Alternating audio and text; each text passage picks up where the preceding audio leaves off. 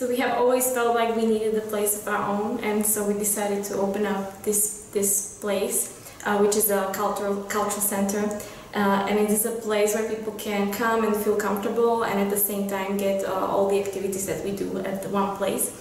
Uh, we use this space for co-working, for organizing events, for consultancy sessions, for workshops, uh, as well as for language courses. What is Connecticlub? It's a community, first of all. It's a family. It's something that uh, was born just a few months ago and we're really proud of.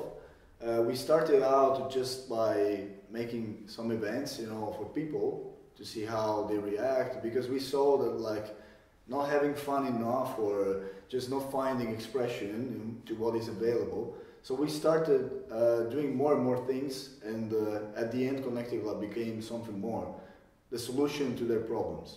Apart from being a community that celebrates diversity and takes care of all ethnics independently from their origin, Connecticlub is also committed on consultancy, which is targeting people, so singular and uh, single individuals, and also companies. We are trying to give best solution to everybody, whatever there is a problem.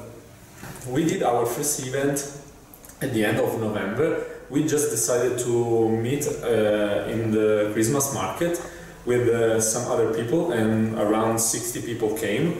Uh, so we decided to do other events, for example, language exchange parties uh, during the Saturday and uh, uh, board games. But then people start to ask other things and just and we start to do it just for help them.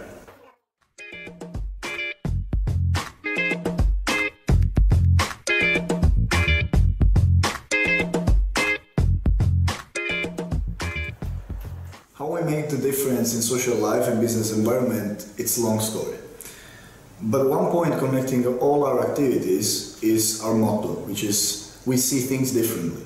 Yeah, we always try to be different. We always try to find a different solution, an alternative, something that is really creating a win-win situation, but in a particular way.